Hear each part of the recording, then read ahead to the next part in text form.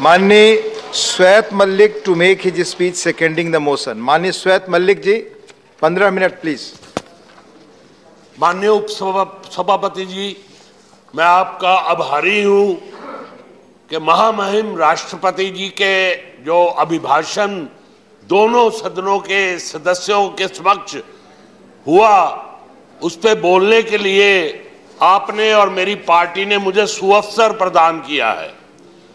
सो जो महामहिम राष्ट्रपति जी ने हमारे युग पुरुष, ओजस्वी, तपस्वी, जो हमारे यशस्वी प्रधानमंत्री नरेंद्र मोदी जी की सरकार है, उसके प्रति जो उन्होंने उपलब्धियों के बारे में बात की है तो मोदी जी के बारे में मैं यही कहूँगा कि मंजिलें उनको मिलती हैं जिनके सपनों में जान होती है।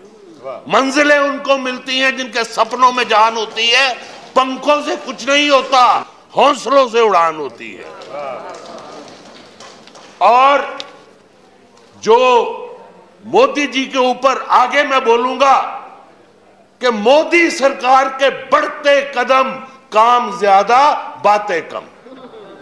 ये मोदी जी की उपलब्धियाँ हैं। सो मान्य मान्य राष्ट्रपति जी ने जो कहा कि मोदी जी की सरकार की उपलब्धियाँ देखते हुए उन्होंने विश्वास जताया कि आज़ादी जो 100 साल पूरे होंगे दो में तो उस समय एक आधुनिक भारत और विकसित भारत का निर्माण होगा मोदी जी के हाथों, क्योंकि जो मोदी जी की सरकार है, लंबे समय तक चलने वाली है और उसके बाद ये देश परम वैभव पर पहुंचेगा। ये देश विश्व शक्ति बनेगा। ये देश विश्व गुरु बनेगा। सो so, जब हमारा देश जब संविधान जब आज़ाद हुआ उन्नीस में तो जो सैकड़ों वर्ष तक आज़ादी का संघर्ष चला तो उसमें हज़ारों देशवासियों ने अपनी प्राण नशावर कर दिए लाखों ने। और लंबा संघर्ष चला। तो जो वो शूरवीर थे, जो वो स्वतंत्रता सेनानी थे, उनके मन में कुछ स्वप्न थे भारत के बारे में। वो एक आदर्श भारत चाहते थे। पर मुझे अफसोस है कि जब स्वाधीन भारत हुआ तो कुछ दोस्त जो वहाँ बैठे हैं कांग्रेस के, जो विपक्षी पार्टियों के, उनके कारण हमारा देश भ्रष्टाचार युक्त हो गया। हमारा देश पराधीन हो के रह गया, वो जो आज़ादी थी हमें मिली नहीं। मैं तो ये कहूँगा कि देश सही मायने में दोबारा आज़ाद हुआ तो वो 2014 में मोदी जी की सरकार बनने पर आपने खुद देखा, आपने खुद देखा कि जो भ्रष्टाचार था पिछली सरकार का वो दीमक बन के इस देश को चाट गया। और उसका ही कारण था कि देश ने एक बहुत बड़ा बदल किया, क्योंकि मिलीजुली सरकारें बनती थी। आम आदमी की मानो, उस कांग्रेस की और मिलीजुली सरकारों ने रीढ़ की हड्डी तोड़ दी थी। तो आम आदमी जागरूक हुआ और आम आदमी ने निर्णय लिया कि दशकों के बाद एक पूर्ण बहुमत की सरकार वो बनाएँगे और वो पूर्ण बहुमत की सरकार उन्होंने ये देखा, जो मोदी जी की एक मुख्यमंत्री के कार्यकाल की उपलब्धियाँ थी, ना भ्रष्टाचार करूँगा, ना करने दूँगा। गुजरात के मुख्यमंत्री होते हुए जो उनकी उपलब्धियाँ थी तो उन्होंने प्रधानमंत्री मोदी जी के नेतृत्व में पूर्ण बहुमत की दो सौ बहत्तर सांसद चुनकर भारतीय जनता पार्टी के नेतृत्व में एनडीए की जो सरकार बनाई, उससे पता लगता है कि जो 12 लाख करोड़ के भ्रष्टाचार के मामले उस कांग्रेस की सरकार के लंबित थे, उससे छुटकारा पाने के लिए ये आदर्श सरकार बनी एक यशस्वी प्रधानमंत्री नरेंद्र मोदी जी के नेतृत्व में। और उस सरकार के कार्यकाल की सफलता यह सिद्ध करती है कि एक बार फिर जब पाँच वर्ष के बाद 2019 में मौका आया तो इससे बड़ा प्रमाण पत्र मोदी जी के लिए कोई नहीं हो सकता, उस सरकार की उपलब्धियों के लिए कोई नहीं हो सकता कि आगे से भी अधिक सांसद चुन के 303 सांसदों के साथ देश की जनता ने उस युग पुरुष के जिसको प्रधानमंत्री नरेंद्र मोदी कहते हैं, नेतृत्व में सरकार बनाई। जब मोदी जी पहली बार यहाँ आए तो उन्होंने आके माथा टेका इस संविधान के मंदिर में और आके शपथ ली कि अब मैं देश को बदलूँगा। और मैंने ये देखा है कि मोदी जी हैं कि जो एक ऐसे आदर्श प्रधानमंत्री के रूप में आए कि जिन्होंने नामुमकिन को मुमकिन बनाया और मुमकिन को यकीनी बनाया। जो उपलब्धियाँ उन्होंने प्राप्त की हैं हर क्षेत्र में तो उस उपलब्धियों के साथ मैं आज ये समझता हूँ कि पहले मोदी जी ने हमें नारा दिया था कि अच्छे दिन आएँगे। 2014 में तो इन्होंने मज़ाक उड़ाया। जो हमारे विपक्षी दोस्त हैं, मित्र हैं, बैठे पर 2019 का चुनाव का जो परिणाम आया, जिसमें पूर्ण बहुमत मिला, उसने सिद्ध कर दिया कि देश में अच्छे दिन आ गए। और फिर 2020 में उस चुनाव के बाद मोदी जी ने फिर नारा दिया कि देश को हम आत्मनिर्भर बनाएँगे। और आज देश के 130 करोड़ देशवासी अपने प्रधानमंत्री से राजनीति से ऊपर उठ के। धर्म से ऊपर उठ के, जाति से ऊपर उठ के, संप्रदाय से ऊपर उठ के, कंधे से कंधा मिला के चल पड़े हैं कि हम देश को आत्मनिर्भर बनाएँगे इस नारे के साथ। आज मैं याद कराऊँगा कि एक भयंकर गलती हुई।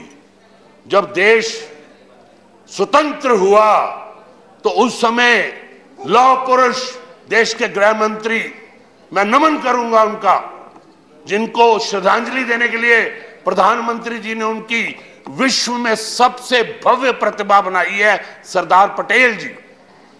जिनको हमारे दोस्तों ने भारत रत्न भी नहीं दिया, ऐसे लौह पुरुष गृह मंत्री जिन्होंने देश को इकट्ठा किया, देश को, सभी स्टेट्स को देश में लेके आए, पर एक जगह वो बेबस हो गए।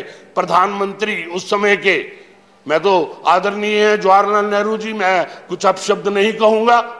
हमारे देश के प्रधानमंत्री रहे, पर जो 370 टेम्परेरी वो धारा बनाई गई, जिसने देश, उस प्रदेश को कश्मीर में अलग विधान, अलग संविधान, अलग प्रधान, ये वहाँ पे बना दिया।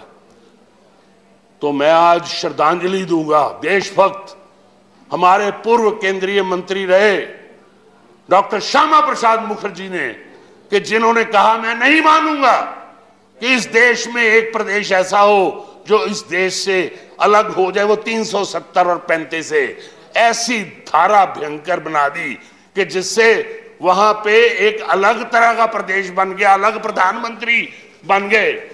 तो उस समय डॉक्टर श्यामा प्रसाद मुखर्जी जब निकले तो उस प्रदेश में जाके उन्होंने शहीदी दे दी, प्राण नछावर कर दिए और उन्होंने उस दिन बीज बो दिया जो वट वृक्ष बनाया किसने? प्रधानमंत्री नरेंद्र मोदी जी और हमारे गृह मंत्री श्री अमित शाह जी ने।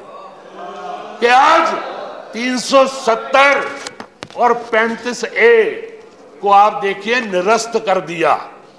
आज कश्मीर में अलग विधान नहीं है। आज कश्मीर में अलग प्रधान नहीं है, जम्मू कश्मीर में। आज वो भारत के अभिन्न अंग हो गए जो भयंकर भूल हुई थी। कांग्रेस पार्टी से उसका निवारण किसने किया? प्रधानमंत्री नरेंद्र मोदी जी, अमित शाह जी ने, कि आज हम सब सांसदों को कश्मीर जाने का मौका मिला है। हम पीछे गए वहाँ पे और जब जाके वहाँ देखा हम पीछे गए थे, हमारी कमेटीज की मीटिंग हुई है, कांग्रेस के मित्र भी और दूसरी पार्टियों के मित्र भी बहुत संख्या में थे। हज़ारों सेना, जो सैलानी थे, जब वहाँ डल लेक के ऊपर जाम देखा, जब वहाँ होटलों में कमरा नहीं मिला तो उस समय पता लगा कि ये आज वही जो स्वर्ग जिसको कहा गया कश्मीर को ये धरती पे स्वर्ग है वो किसने बनाया? वो प्रधानमंत्री नरेंद्र मोदी जी और अमित शाह जी ने बनाया। सो आज जो मैंने कहा था कि नामुमकिन को मुमकिन और मुमकिन को यकीनी बनाने का कार्य जो है वो किया तो एक वैश्विक महामारी कोरोना जिसके बारे में किसी को कोई मालूम नहीं था। तो वो महामारी का जो आक्रमण हुआ हमारा देश बहुत बड़ी जनसंख्या वाला देश था। 130 करोड़ की जन, जनसंख्या थी। तो उस समय मोदी जी ने एक सशक्त नेतृत्व देते हुए देश में लॉकडाउन लगाया तो इन्होंने तब भी मज़ाक उड़ाया कि लॉकडाउन को लगाया। लॉकडाउन का मतलब था कि देश में कोई नुकसान ना हो क्षति ना हो, उसके लिए देश को तैयार करना है उस वैश्विक महामारी के लिए। मैं आज इस विपक्ष में जो हमारे दोस्त बैठे हैं, उनको प्रश्न करूँगा कि जो वेंटिलेटर है, लाइफ सेविंग मशीन है, जिससे जीवन रक्षक प्रणाली हम उसको कहते हैं, सत्तर वर्ष तक आपके कुशासन में केवल सोलह हज़ार वेंटिलेटर थे।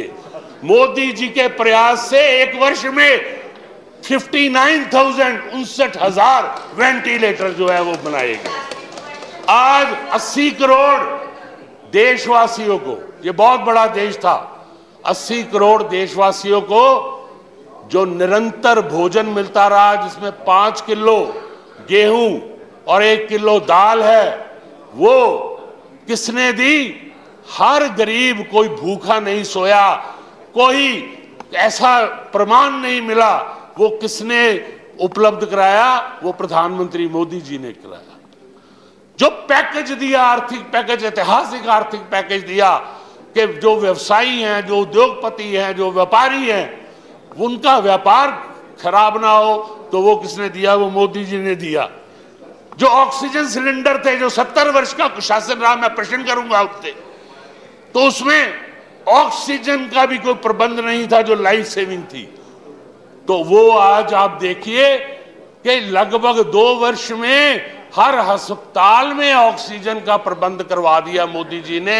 ऑक्सीजन के प्लांट लगाए हैं, जिसमें जिस शहर से मैं आता हूँ, अमृतसर से पंजाब में, उस शहर में भी पाँच ऑक्सीजन के बड़े प्लांट जो है, वो मोदी जी ने लगाए।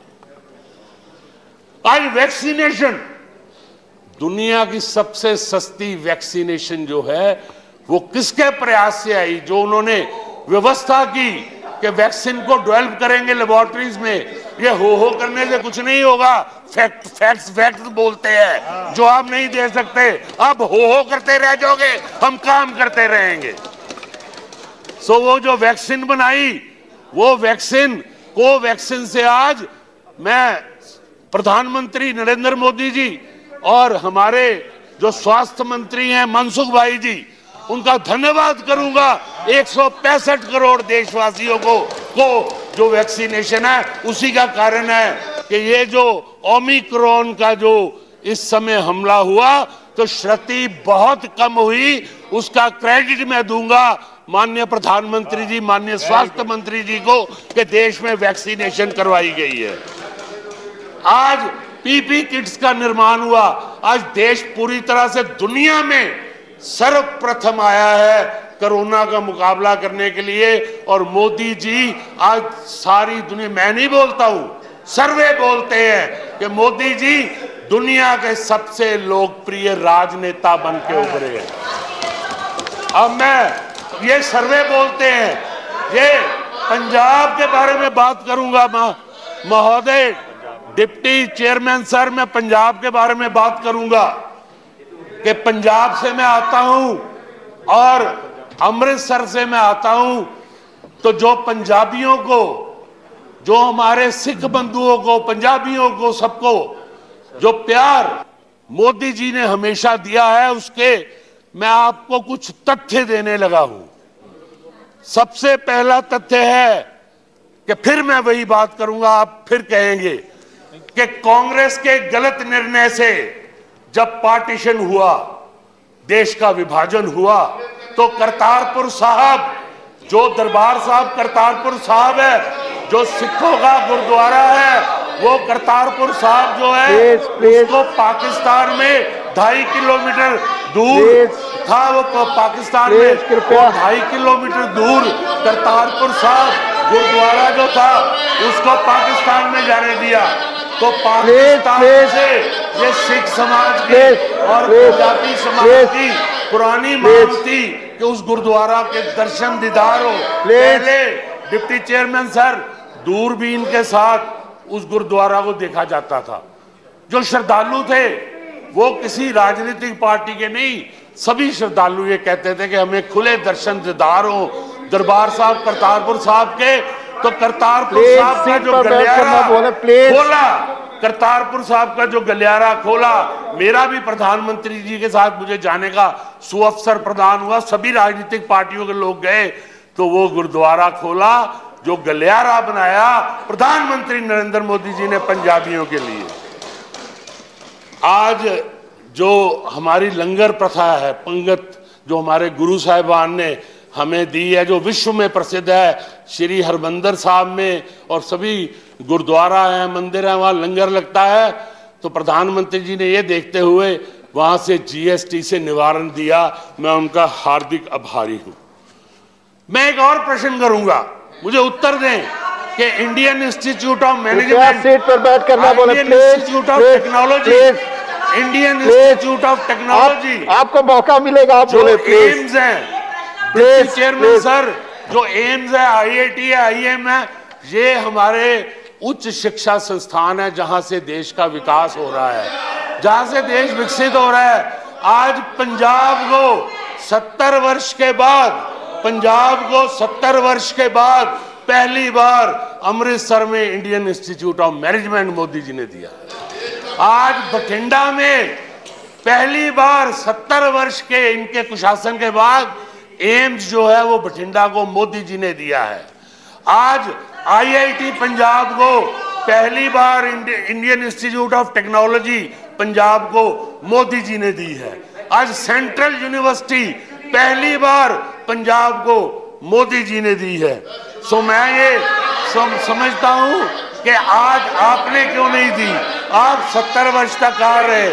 अब इसके बाद इसके बाद प्लीज़ ब्लैक लिस्ट एक काली सूची बनी. थी। विपक्ष विपक्ष का ये जो रवैया है क्या वो चाहेंगे कि जब वो बोले तो हमारे भी सांसद इसी प्रकार का अपील करता हूँ कि आपको मौका मिलेगा। बहुत अच्छी डिबेट चल रही है। सबने एक दूसरे को सुनना चाहिए। और जब उनका टर्न आएगा वो उसका रिबटल कर सकते हैं। अगर आपका टर्न पे आप रिबटल कर सकते हैं लेकिन इस प्रकार का रवैया इस प्रकार का रवैया दोनों तरफ़ से हो सकता है। अब जो पंजाबियों की सर सर ऐसे है कि काली काली सूची बनी थी। बात सुनी जाए। मैं जानकारी दे रहा हूँ। प्लीज़ एक मिनट हम आपका सम्मान करते हैं पर ये धन्यवाद प्रस्ताव पर चर्चा हो रही है। मैं अगर जा, हर शब्द मैं जानकारी दे रहा हूँ होगा और कोसा कि जो जिन्होंने देश का निर्माण किया एक तो यहाँ हमारे सदस्यों को भी आपत्ति मैं इनको जानकारी आपत्ति दे रहा है। अगर प्लीज़। जानकारी दे रहा हूँ। एक मिनट एक मिनट। प्लीज़ प्लीज़ आप आप अपनी जगह बैठे प्लीज़। कृपया मेरा आग्रह है सबसे। माननीय माननीय माननीय माननीय माननीय नेता प्लीज़। आप आप सब अपनी जगह बैठे प्लीज़। एक मिनट। मेरा आप सभी सदस्यों से आग्रह प्लीज़ माननीय आनंद जी मेरा आप सभी सदस्यों से आग्रह है आपको जब मौका आएगा आप बोले और जो बोलते हैं तो धैर्य रखें एक दूसरे को सुनने के लिए। आप वही चीज़ें बोले जो एक दूसरे को धैर्य से सुन सकते हैं। मेरा आप सबसे आग्रह प्लीज़ प्लीज़ आप बैठ करके बैठ कर हस्तक्षेप न करें। आप बैठ कर बोलेंगे कोई बात रिकॉर्ड पे नहीं जाएगी प्लीज़ मैं जानकारी दे रहा हूँ। जो काली सूची थी। हमारे बहुत पंजाबी भाई काली सूची के कारण देश में नहीं सर आ सकते थे। तो वो जो एक मांग थी पंजाबियों की कि ये काली सूची को कई दशकों से देश से बाहर थे, देश में नहीं आ सकते थे तो आज 312 जो वो बंधु थे, सिख बंधु, उनको काली सूची से निवारण किसने दिलाया? वो प्रधानमंत्री नरेंद्र मोदी जी ने दिलाया। आज हमारे पहले गुरु गुरु नानक देव जी का साढ़े पाँच सौ साल जन्म दिहाड़े आए, शताब्दी आई, जिसको हम कहते हैं। तो प्रधानमंत्री नरेंद्र मोदी जी ने जहाँ गुरु जी रहे एक तो करतारपुर साहब कॉरिडोर खोला, एक सुल्तानपुर लोधी में गुरु जी ने बहुत लंबा समय गुरु नानक देव जी ने गुजारा था। तो सुल्तानपुर लोधी जी में यहाँ पे हरदीप सिंह पुरी जी मेरे बहुत आदरणीय मंत्री बैठे हैं। इनके नेतृत्व में स्मार्ट सिटी बनाने के लिए सुल्तानपुर लोधी को निश्चित किया। एक ट्रेन चलाई गई है कि जो सभी जो तीर्थ स्थल हैं उनको दर्शन कराएगी श्रद्धालुओं को। एक स्टैंप भी लागू की गई और उसके साथ एक कॉइन भी जो है वो लागू किया गया। यूनिवर्सिटीज में गुरु नानक देव यूनिवर्सिटी और लंदन में चेयर बनाई गई। कि जहाँ पे चेयर पे गुरु नानक देव जी के जीवनी का सारा जो है वो दिया जाएगा सभी लैंग्वेजेस में उसकी ट्रांसलेशन होगी। सर मेरे पास आपका समय, समय है खत्म हो रहा है, मलिक जी, कृपया समय- करें। पार्टी का दिया समय है सर। मुझे पंजाब के बारे में बोलने दीजिए। करें। उसके बाद उसके बाद sir express highway Amritsar Delhi और कटरा एक्सप्रेस हाईवे ये कैसे तीर्थ स्थल गुरु नगरी और वैष्णो माँ का जो द्वारा है उसको एक्सप्रेस हाईवे को मंजूरी दी है, जिससे अमृतसर से दिल्ली की दूरी केवल चार घंटे रह जाएगी, अमृतसर से कटरा की दूरी ढाई घंटे रह जाएगी। अमृतसर फिरोजपुर रेलवे लिंक, जो ऑल्टरनेटिव है, मैं स्वर्गीय अरुण जेटली जी को याद करूँगा। प्रधानमंत्री जी को मैंने निवेदन किया था, जेटली जी को निवेदन किया था, दो सौ निन्यानवे करोड़ रुपए अमृतसर फिरोजपुर रेलवे लिंक, जो छह स्टेट्स जिसमें पंजाब, हिमाचल जे एंड के महाराष्ट्र, राजस्थान जो है गुजरात उसको कनेक्ट करेगी दो सौ निन्यानवे करोड़ रुपए उसके लिए दिए हैं। उसके बाद किसान सम्मान निधि के आज वो एग्रीकल्चरल स्टेट है, वो आज निरंतर हर क्वार्टरली बीस हज़ार करोड़ जहाँ देश में दिया जा रहा है, पंजाब को भी मिल रहा है। नीम कोटेड यूरिया, जिसके लिए पिछले समय में किसान पैसे लेके जाता था तो उनको लाठियाँ खानी पड़ती थी। आज नीम कोटेड यूरिया सबको आसानी से उपलब्ध है। आज क्रॉप इंश्योरेंस, जो फ़सल बीमा है, वो पंजाब के किसान को मिल रहा है। सॉइल टेस्टिंग, के खाद डालते समय आपकी सॉइल में क्या डेफिशिएंसी है, ये उनको मिल रहा है। आज जलियांवाला बाग जिसका प्रधानमंत्री जी ने मुझे ट्रस्टी भी बनाया, मैं उनका आभारी हूँ। जलियांवाला बाग का सत्तर वर्ष के बाद वो शहीद जिनकी आत्माएँ वहाँ विश्राम कर रही हैं, सम्मान मिला। 20 करोड़ रुपया दिया प्रधानमंत्री जी ने, पुरी जी ने उसका विकास कराया, प्रहलाद पटेल जी के साथ। आज वो जलियांवाले बाग का विकास कराया और उसके बाद आपका समय खत्म हो रहा है कंक्लूड भ्रष्टाचार सर मैंने मेरे पास समय है जी मेरी पार्टी का दिया हुआ। यहाँ पार्टी का लेकिन जो समय मिला है पार्टी तो वही मैं कह रहा हूँ। सिर्फ़ पाँच मिनट लूँगा पाँच मिनट लूँगा। प्लीज़। भ्रष्टाचार के ऊपर जो प्रधानमंत्री जी ने शपथ खाई थी ना भ्रष्टाचार करूँगा ना करने दूँगा जनधन योजना।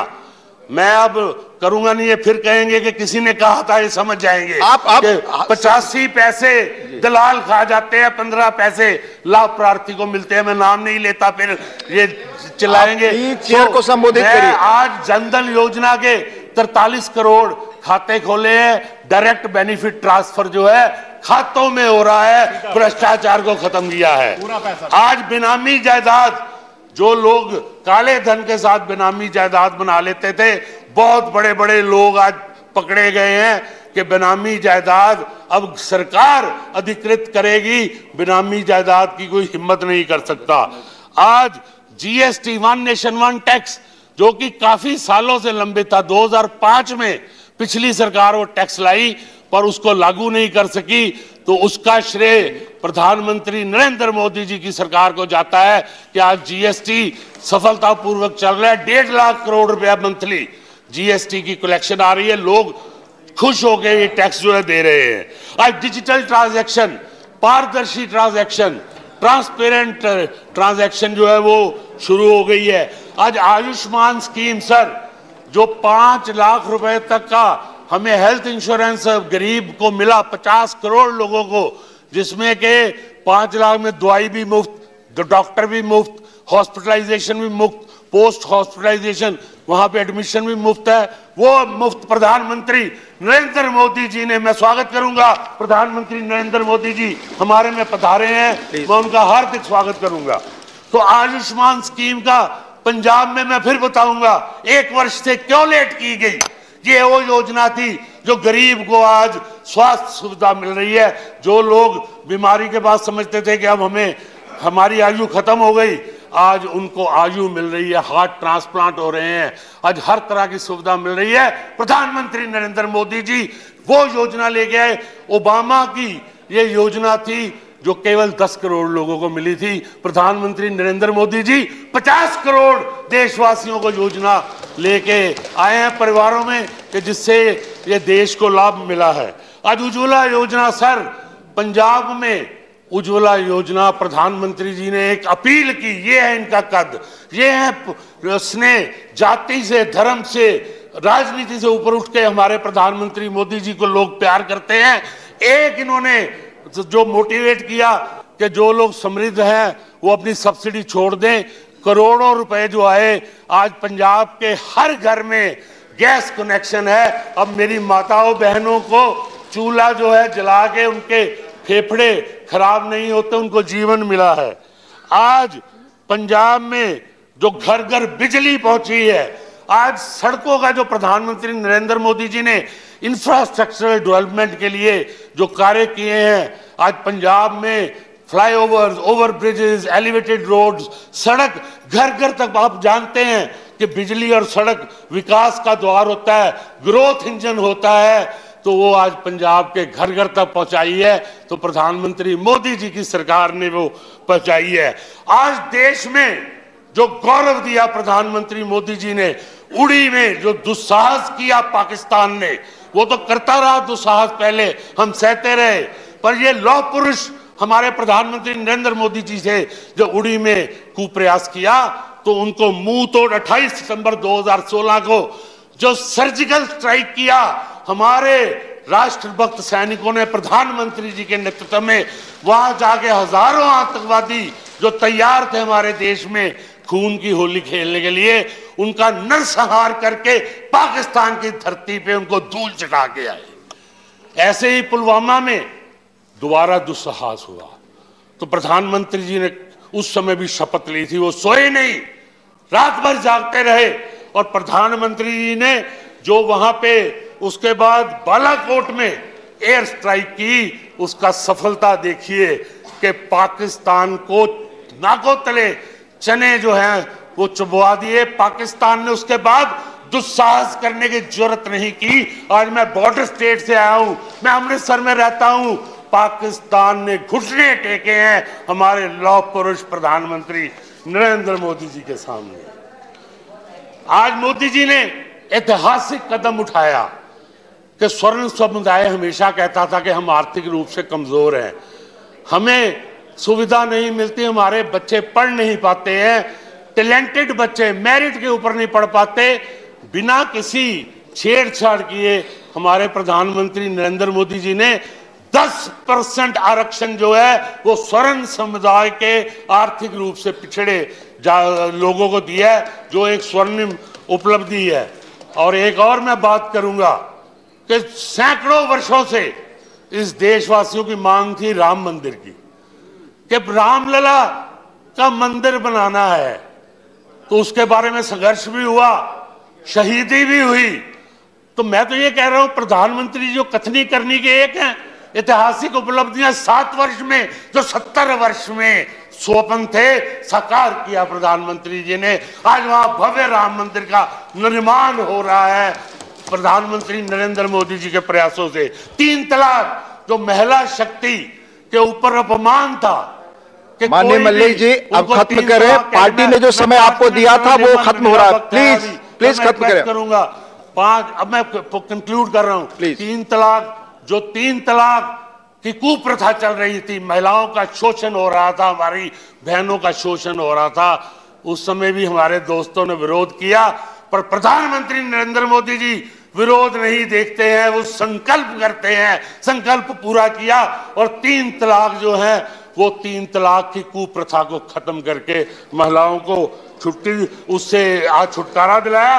आज रेलवे है। हम, मुझे याद है, मैं जापान में काम करता था तो मैं छह वर्ष जापान में इंजीनियर रहा तो बुलेट ट्रेन में सफ़र किया कब? उन्नीस सौ सतासी में। तो मैं समझता था कि हमारे देश में कब आएगी। किसी में इच्छा शक्ति नहीं थी कि बुलेट ट्रेन आ सकती है। किसने इच्छा शक्ति जिताई? 2014 आप में प्रधानमंत्री करें, माननीय मल्लिक जी। बुलेट ट्रेन लेके आए। लेके आए गतिमान लेके आए। और उसके बाद आज मैं फिर से ये रिपीट करूँगा कि मंजिलें उनको मिलती हैं, जिनके सपनों में जान होती है। मोदी के ऊपर मंजिलें उनको मिलती हैं कि जिनके सपनों में जान होती है, पंखों से कुछ नहीं होता है, हौसलों से उड़ान होती है। नमन करता हूँ प्रधानमंत्री नरेंद्र मोदी जी को। धन्यवाद। धन्यवाद।